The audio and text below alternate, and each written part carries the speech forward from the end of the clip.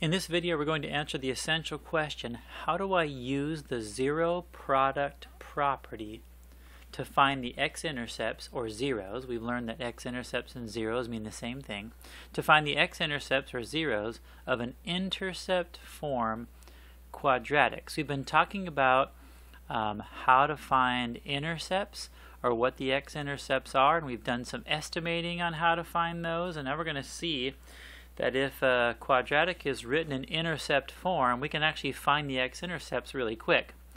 And let's start now with this section. I'm going to zoom in here so we can see this a little bit better. Okay, so what is this thing in this in the essential question is talking about zero product property.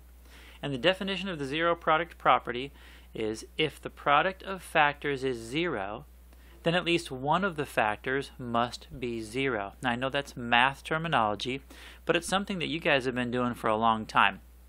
You know that if you take any number at all and multiply it times zero, the whole thing changes to zero. So our example here is, let me change to a different color. Our example is here, if I ask you 5 times what gives you 0 or equals 0, you would all say, well, any well we know it's going to be 0. 5 times 0 equals 0. 5 times anything else is going to give you something else. So the zero product property says is if you want this equation equal to 0, you know that somewhere along the line you're going to have to multiply the whole thing by 0. And same thing, take a look at this. If, if I told you that A times B equals 0, then you would know something for sure about this. You would know that either A equals 0, 0 times anything gives you 0, or you would know that B equals 0. One of those two numbers, one of those two variables has to be 0 for the whole thing to change to 0. And in fact, we've got one more option. Both of them could also be 0 because if both of them are 0, 0 times 0 is also 0. So we can force this equation, a times b equals 0, to be true as long as a is 0, b is 0, or one of them is 0. And now let's take a look at this in terms of a, of uh, a, a expression that we're more familiar with in this, this unit. What if I gave you this expression 4x times x minus 2 and I said to you, hey, what values of x will change this expression to 0? You can use the same rules as we just saw above. You could actually tell me, well, Mr. Z, here's how it would work. If x is 0, then 4 times 0 is 0, and then it doesn't matter what number is in the parentheses, 0 times anything changes to 0. So by changing x to 0 here, the whole thing changes to 0. And that's a little more complicated, not much, as far as the binomial. There's another answer to this question.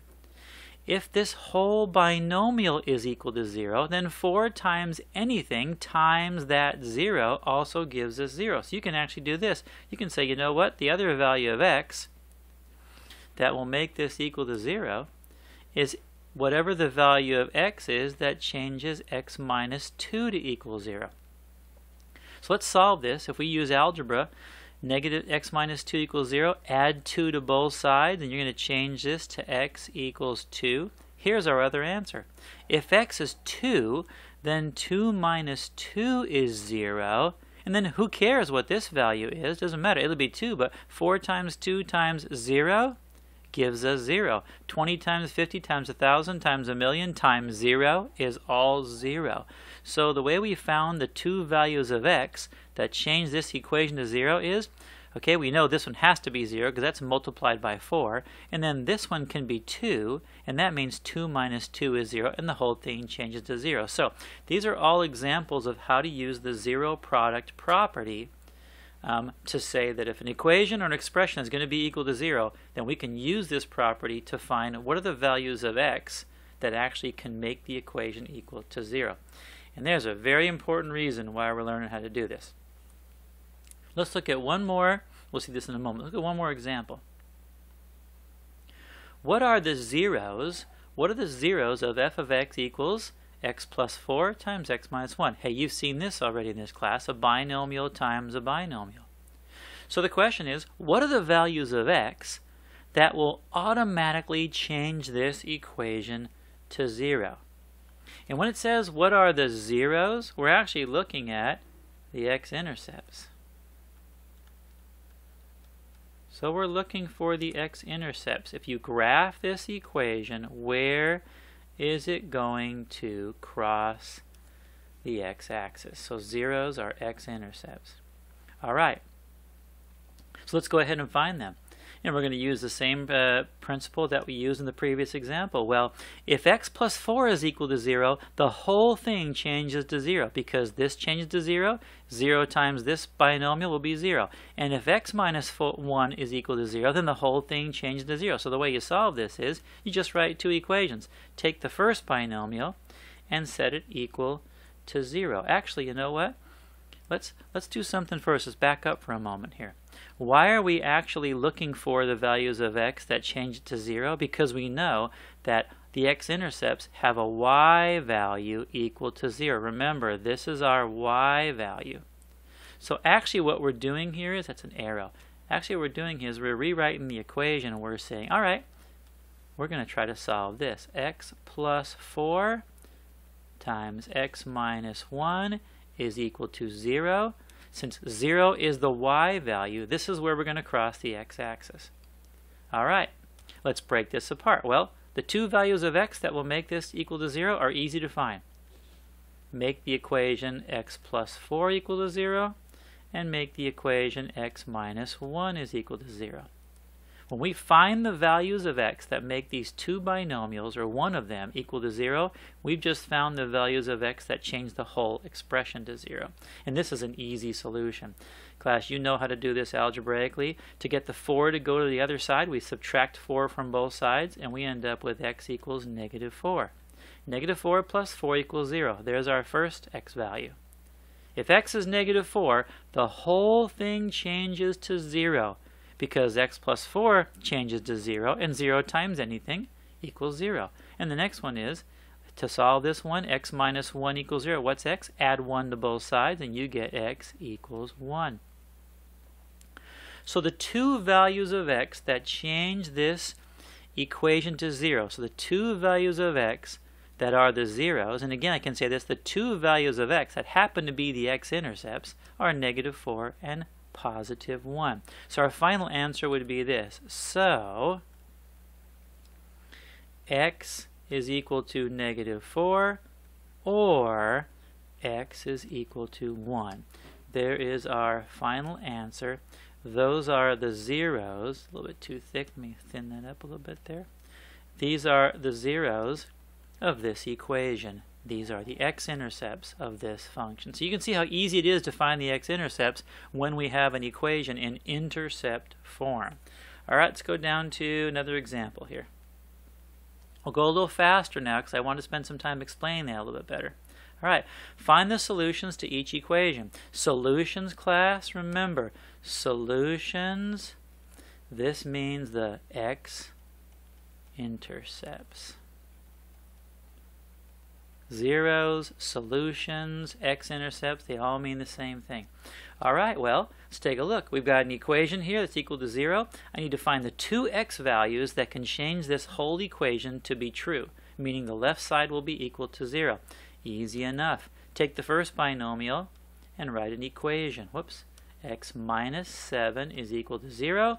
And then take the second binomial and write an equation. x plus 0.5 equals 0. If either of these binomials change to 0, the whole equation is going to turn to 0. Well, let's go ahead and find this. We add 7 to both sides here, and you get x equals 7. When x is 7, x minus 7 is 0. When we subtract 0.5 from both sides, you're going to get x equals negative 0.5.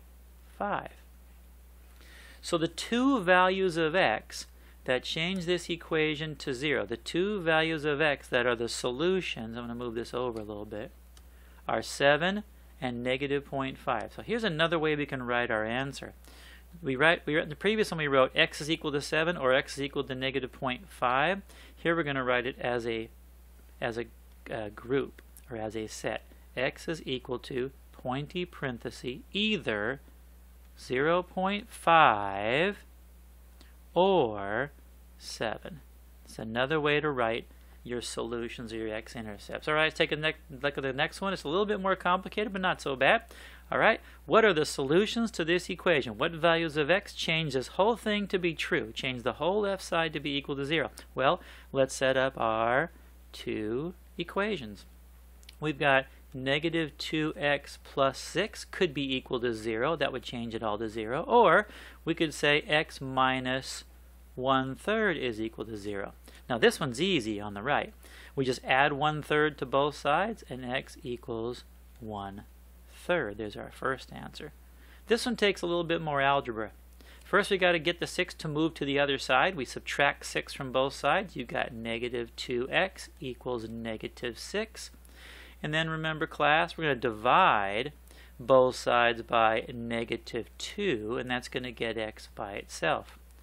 So the negative 2 over negative 2 is equal to 1. We can cross it off, and x equals negative 6 over negative 2. If you put that in your calculator, you will get positive 3.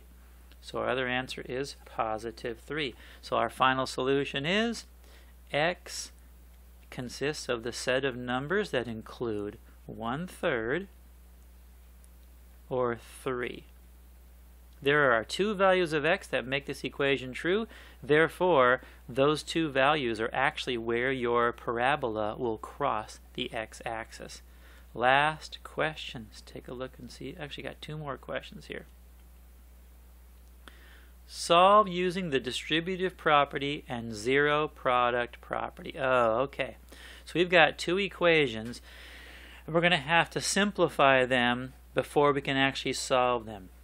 Now in this one, if you learned my rules for factoring, this should look very familiar to you. This is the step right before you do you sorry, not factoring, the the uh, steps for multiplying two binomials together. When you look at this, this is the step right before you finish. And remember how we did this class?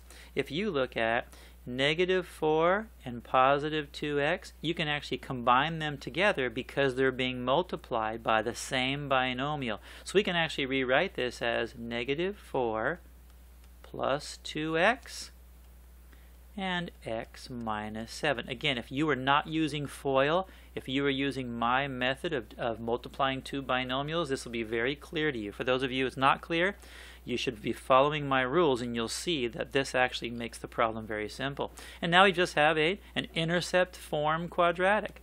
Let's find out the values of x that will make this equation true, the values of x that will make the left side equal to 0. The first thing we do is we set up negative 4 plus 2x equals 0. And then we also have x minus 7 is equal to 0. Again, either one of these turn to 0, the whole thing changes to 0. Let's solve the first side. So we've got negative 4 plus 2x. Let's add 4 to both sides. When we add 4 to both sides, we've got 2x equals 4. Divide both sides by 2. We can now finish this up. 2 over 2 is 1 and we have x equals, and if you do 4 divided by 2, you get positive 2. There's our first x value. This next side is simple. If x minus 7 equals 0, add 7 to both sides, and you've got x equals 7. There is our second one.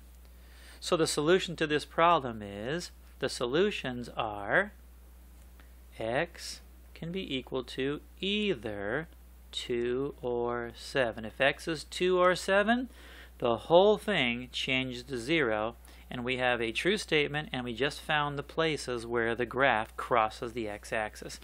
Last practice problem.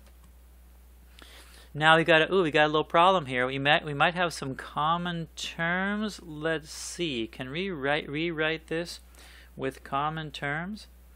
I'm looking here. We got plus 2. Oh, let's see. Um, think about this for a moment. How are we going to find the values of x? Oh, I see here. We're going to have to actually combine some terms.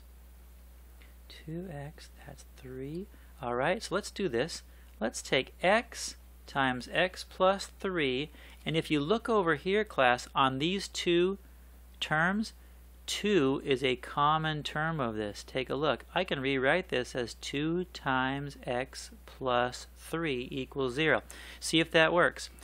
From here to here, multiply 2 times x, we've got 2x, and 2 times 3 is 6. So we were rewriting, this is a little more complicated, we're rewriting the right side, pulling out the common term, and now we got an easy problem. We've got the same binomial in both of these terms, and now we can rewrite it just like we did in the previous example.